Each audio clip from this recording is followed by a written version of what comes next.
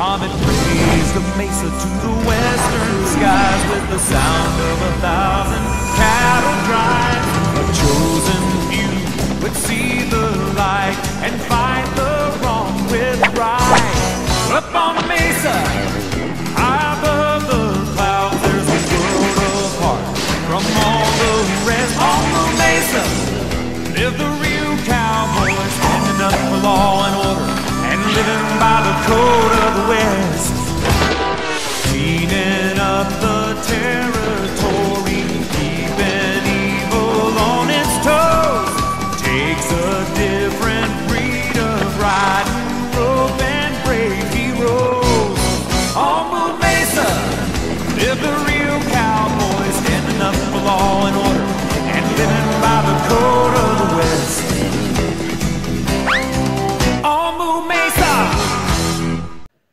Hey guys, welcome back to the Tubers High Score Challenge recap. And this week, this week, this fortnight, we had been playing Wild West Cowboys of Moo Mesa.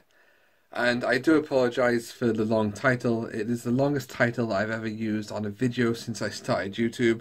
Tubers High Score Challenge, Wild West Cowboys of Moo Mesa. Now, why did I choose this game? Well, Wild West Cowboys of Moo Mesa, we'll just call it Moo Mesa for short, was a cartoon I used to watch in the 90s, hence the intro there. That's the intro to the cartoon, obviously. So I thought I'd just uh, share that with you all. Um, yeah, I used to watch when I was a little kid. I did enjoy it. It was never one of my favourites, and I completely forgot about this cartoon until I came across the arcade game, and I was like, oh, I remember this. So the childhood nostalgia flooded back, and I thought, it's my turn to pick. I have to pick this game. And I played it, and it was pretty decent. I really enjoyed it. Um, very similar similar to Sunset Riders, which I chose two years ago for the Tubers High Score Challenge, and everyone enjoyed that. So I thought everyone's going to really enjoy this as well. It's the third Western game I have chosen for the Tubers High Score Challenge. The other one being Blood Bros. So yeah, it must be something about the West, the Cowboys, literally cows in this one that I enjoy these kinds of games. Um, a couple of people were unsure on this pick at first, but they did warm up to it. And we had 11 entries. Not bad, not bad. I hoped a bit for a bit more, but you know, I'll take what I can get.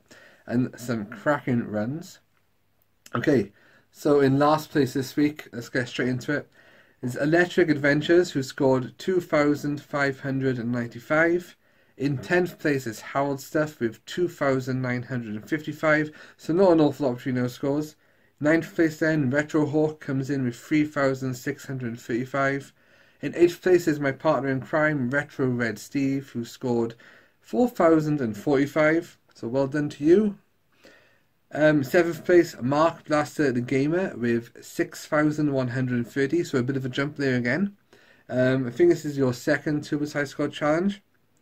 So, hope you're enjoying it, dude. In sixth place is Kit171 with 6,670. Um, in fifth place is myself now, another jump with 10,055.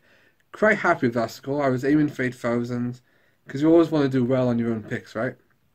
And I don't usually beat um, Mike Kit171, so that was nice to do as well. Uh, in fourth place we have Old Style Gaming, who scored 11,735. Some awesome scores here now and runs coming up. Your top three people though this week. In third place is Acidonia 150 who scored 14,305. So a jump again there. And second place is my fellow Welshman Dav Priest who scored 19,130. Awesome run. Another big score, uh, big jump in the score again. But your first place this uh, week goes to somebody who wasn't going to enter at first because it wasn't their kind of game. Warmed up to it and he won with 20,155 and that is Zeus Daz. And um, he nearly completed the game. He died on the last boss. So you know, fair play to you guys who get that far, you know, on just, well, one credit. It'd take me weeks of practice to do that. If I could do that. So there's your table up close if you can see it. Oh, what are you doing? There you go. Yeah. So the next game has been chosen. What is it? I completely forgot. It's Mega Man 2, the Power something or other arcade. I literally looked at it before um, I came on here. I, I was like, I got a titles new style, the Power something. Anyway, um, this one's a bit different. There's going to be three score, three score tables and one main score table because uh, it's been it's been chosen by Aston 150 and he said there's three paths you can go on. Um, so there's going to be a score table for each path, and what if you can either choose to do one path, it's up to you, or you can do all three. And say, for example, I did all three. Whatever your highest score is in any of those, then you take that. That would go into the main score table, and that would be your final score. Because Gary said all the routes are quite similar, so the scoring is quite uh, the same as well, and it's like the same difficulty. So there you go. If you can get your head around that, I think I have. Then join me next time for your Tubers High Score Challenge recap. Boom! See you soon.